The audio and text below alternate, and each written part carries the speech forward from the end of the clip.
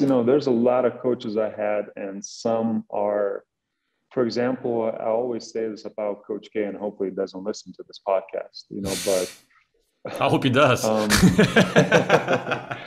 no, I always say that, you know, Coach K was the best coach I've ever had in the sense of, like I always say, I don't think he's a great X's and O's coach, you know, because uh, if you look at his systems, like they still run to this day the same stuff that we ran in 05, 06. Yep. Um, but he's probably the best coach and the teacher from the sense of, you know, uh, psychologist almost to where he when he talks you listen he has mm-hmm. something about it to where he knows how to bring everybody on the same page. He knows how to motivate you. He knows how, to push your buttons to, to really to believe in him and in the program and in you know the he always said you know duke or the basketball is bigger than one person.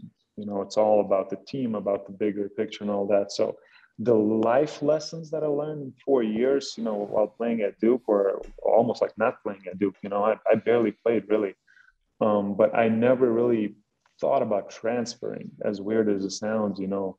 Um, and so that's why, you know, as far as Coach K goes, you know, that's that's one thing where I know if you're not necessarily, let's say, um, an excellent top level um, X's and O's coach, you can still have a tremendous success if you're an amazing leader and teacher and psychologist uh, and all those things. You know, because I had a ton of coaches who who are amazing in X's and O's, but let's say they were awful leaders or awful, um, you know, psychologists or whatever, and and I tell you, like I did not enjoy playing for them. You know, I yeah. did not want to fight for them. I did not yeah. want to give my all to them. So yeah. I think there's a fine balance, and there's very few coaches that are, you know, really good into both things, um, both X's and O's and basketball and strategies, and also uh, making you believe into what you're playing for, and you know, making you feel,